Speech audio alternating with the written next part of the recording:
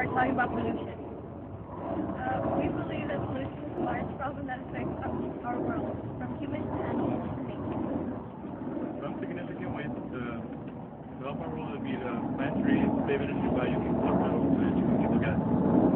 As it means, I take asthma very seriously. Imagine living in a world where everything is clean.